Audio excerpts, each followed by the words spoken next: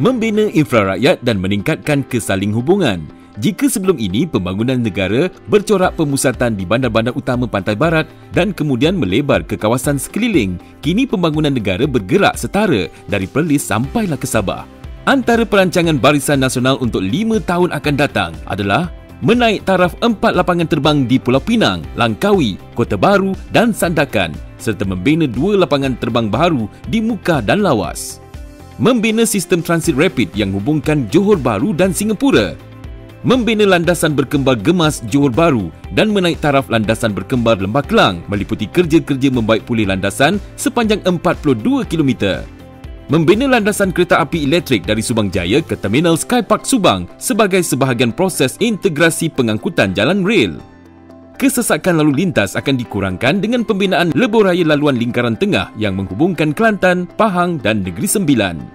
Di Sabah, laluan kereta api dari Halogilat ke Tenom akan dinaik taraf. 12,500 km jalan luar bandar di Sabah dan Sarawak akan dinaik taraf. Suka dengan konsep Pusat Transformasi Bandar UTC dan Pusat Transformasi Luar Bandar RTC? InsyaAllah, Barisan Nasional akan bina lebih banyak UTC, RTC di seluruh negara. Selain itu, Kompleks Immigration, Custom dan Kuarantin CIQ di Tebedu, Sarawak dan Kalabakan Sabah akan dibina bagi menggalakkan pertumbuhan ekonomi dan meningkatkan tahap keselamatan kawasan sempadan di Pulau Langkawi, JT, Terminal dan Kompleks Immigration, Custom dan Quarantine atau CIQ akan dinaik taraf dengan peruntukan sebanyak 86.5 juta ringgit.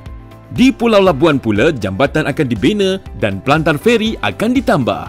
Semua untuk menarik lebih ramai pelancong dan pelabur asing. Ini tidak termasuk projek-projek infra rakyat yang telah diumumkan seperti MRT, LRT, High Speed Rail, East Coast Rail Link dan Lebuh Raya Pantai Timur banyak lagi dalam perancangan untuk kesejahteraan rakyat. Ketahui lebih lanjut di www.najibrazak.com.